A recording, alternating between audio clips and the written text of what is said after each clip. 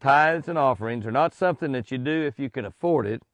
Tithes and offerings are something that you do before you spend the rest of your money.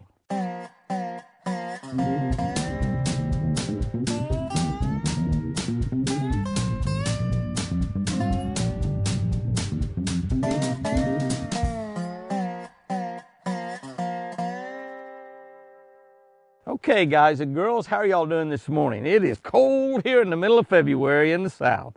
February 19th, our verse from Proverbs Honor the Lord with your wealth and the first fruits from all your crops. The first fruit, not what you have left over or not if you have enough, but the first fruits of all your crop. Honor the Lord with your wealth and the first fruits from all your crop. Daryl Robertson from Oklahoma won the first really giant purse in bass fishing over $600,000 in the Ranger Millennium Tournament back in 1999. 1999, over 20 years ago. Still today, this is one of the biggest payouts ever. Daryl used $100,000 of that money to build a new activity center for his church. 100,000 of that money he used to build a new activity center for his church. To a real believer, giving to the Lord, it's not an option, it's an honor. Tithes and offerings are not something that you do if you can afford it. Tithes and offerings are something that you do before you spend the rest of your money. I believe if we do not tithe, we don't allow God to pour out His blessings on us. We are actually cheating ourselves out of something that God intended for us to have. You want blessings? Are you tithing?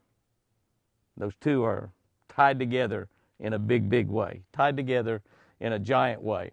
You know, I was speaking a couple of times down at Second Baptist in Houston, and one of the guys there at the church mentioned to me that they had several million dollar tithers that belonged to Second Baptist Houston.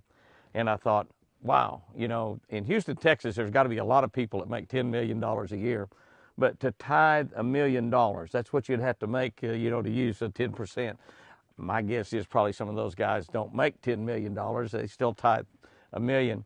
And you, you're probably thinking out there, because that was sort of the first thought in my mind, was that, wow, if I made $10 million, it'd be a piece of cake to tithe a million dollars. But can I tell you, it takes the same amount of faith and dedication and belief to tithe a million dollars on $10 million income as it takes to tithe $10 on a hundred.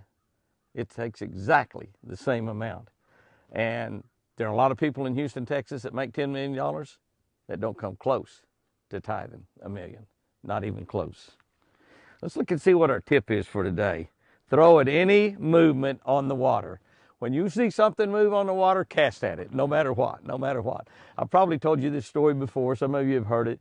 But back in a, a, a Project Sports tournament years ago, this was before BASS and FLW, that's when, before Bass'n Gal, and Chris fished the, the Project Sports tournaments because there was no place for the women to fish. So she fished those tournaments. And, uh, and she was fishing one day and she drew a doctor, a local doctor from there in Hot Springs, Lake Ouachita is near Hot Springs. And uh, she, uh, she was fishing and and the guy said, "Oh, there's a fish moved over there." And she said, "Oh, that was a turtle. I saw it." Well, the guy cast over there anyway, and he caught a bass that weighed six pounds and 12 ounces, the largest fish of the tournament for that day. I don't think it's the largest for the whole deal, but it's the largest fish for that day. Now, Chris was more observant than that guy was because she noticed that it was a turtle that was over there, but she was not really as uh, she didn't really do the right thing. I'll just put it that way. I'm trying to figure out a nice way to say that, but she just sort of messed up and didn't do the right thing because even though it was simply a turtle, she should have cast over there. Now, the reason that uh, the guy caught the six pound bass was turtles, when they pop their head up out there, they're usually around some brush or structure or a log or something like that, a piece of brush underneath the water. Ooh, Beamer growling at something down there. I don't know if she sees a, she sees something she doesn't like down there. Could be a pig or a coyote or something out there. But anyway, she gave a little growl right there, a little warning, a little warning to whomever's out there. But, uh, but, but, but there was, there's usually some brush around, so if, even if you see a turtle stick its head up, cast your lure over that. Anything that moves in the water, throw at it. Could be bait, could be a turtle, could be a gar or carp, something you don't want to catch, but it might be the biggest bass of the tournament. Guys and girls, y'all go out there and have a great one today. It's cold. I love you.